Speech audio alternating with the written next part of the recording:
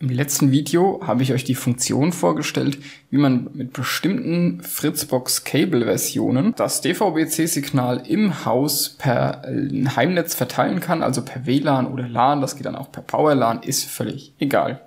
Was fällt dabei raus? Naja, eine M3U-Datei und ein Netzwerkstream. Und diese M3U-Datei, die kann mit vielen Media-Playern wiedergegeben werden und dies holt sich quasi dann das TV-Signal vom, äh, von der Fritzbox, also nicht das TV-Signal, sondern das Videosignal und streamt das auf das entsprechende Gerät.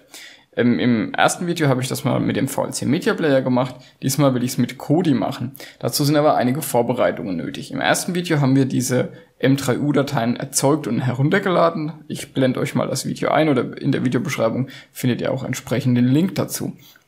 So, was muss ich jetzt machen, damit das Kodi-kompatibel ist? Im Prinzip sind die jetzt schon Kodi-kompatibel, nur ich muss am Ende daraus eine Datei machen. Also ich bin jetzt hier in meinem Ordner, habe den Kram da drin liegen, mache einen Rechtsklick drauf und editiert das. Das kann man mit dem normalen Notepad von Windows machen. Das will man aber nicht und deshalb benutzt man da Notepad dafür. So, ich habe hier schon ein bisschen was offen. Was habe ich also gemacht? Oder beziehungsweise fangen wir mal von vorne an. Ich gehe jetzt mal in diese Radio oder Radio M3U. Das ist im Grunde das, was jetzt die Radiosender sind. Das kopiere ich mir jetzt mal mit Steuerung A in einen neuen Tab. So. Und da habe ich jetzt die ganzen Radiosender drin. Am Ende sind es übrigens, was ihr hier seht, das sind nur noch Testsender. Die kann ich eigentlich alle mal rauslöschen. Die sind wahrscheinlich unnütz. So, da wird es ein bisschen schöner nachher.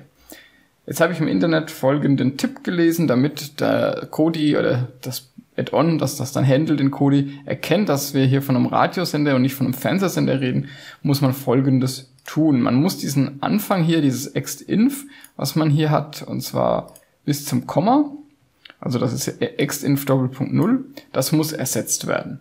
Mit was muss es ersetzt werden?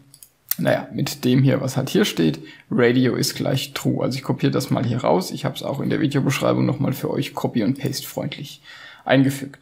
Hier drücke ich jetzt Steuerung F und dann kann ich hier auf Ersetzen gehen und hier habe ich es jetzt schon drinstehen. Also genauso muss es aussehen. Wir ersetzen einfach dieses extinf Doppelpunkt Null mit diesem String hier unten, äh, ja, normal und nicht reguläre Ausdrücke.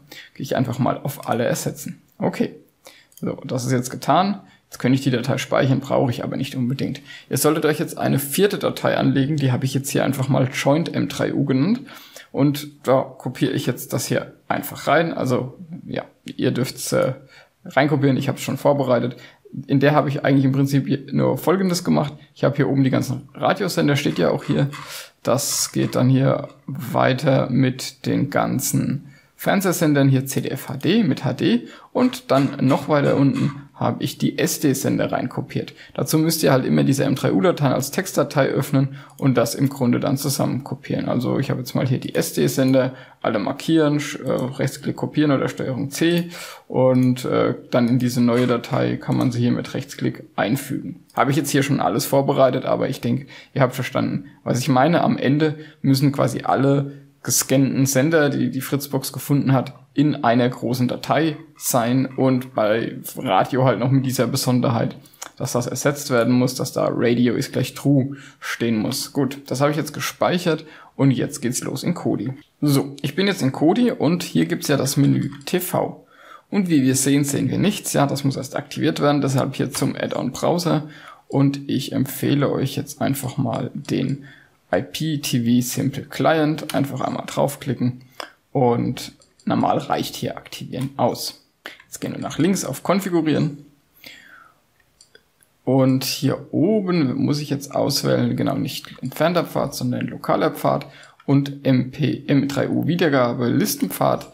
Dort geht jetzt im Grunde der Explorer auf oder ein, könnt ihr euren Pfad einfach suchen, wo ihr diese M3U gespeichert habt. Vorhin habe ich vielleicht vergessen zu sagen, diese Datei, in der wir diese ganzen äh, ja, Links zusammenführen für die Streams, die muss natürlich auch M3U logischerweise heißen.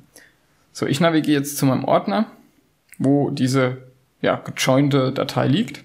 So, jetzt bin ich hier. Wir haben jetzt die Ansicht, die wir vorhin auch hatten und ich nehme jetzt hier diese Joint M3U. Genau, das war's im Grunde schon. Ich gehe jetzt hier mal auf OK.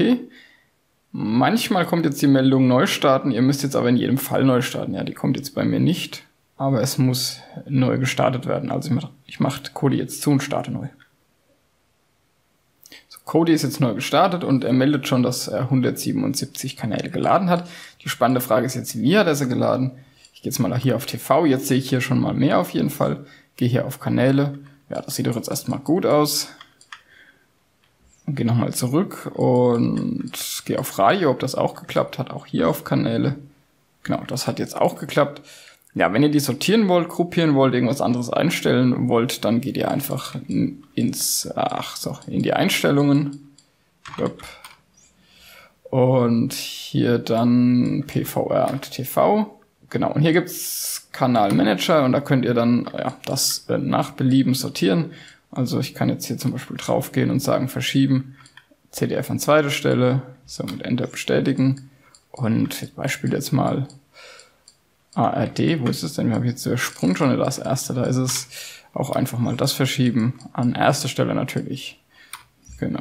Also beziehungsweise CDF muss ich jetzt auch wieder hochschieben, natürlich, logischerweise. So, genau, dann habe ich das jetzt gemacht hier. Was halt nicht geht, äh, Kanalsymbole habe ich jetzt noch nicht rausgefunden, wie das geht. Das geht aber sicherlich auch. Aber was nicht geht, ist wohl EPG. Da gibt's wohl irgendwie Inkompatibilitäten zwischen Kodi und der Fritzbox. Falls ihr irgendeinen Tipp habt, wie das geht, könnt ihr es gerne äh, kommentieren. Ich pinne euren Kommentar dann an, dann haben auch die anderen Nutzer was davon und können das dann doch hinkriegen.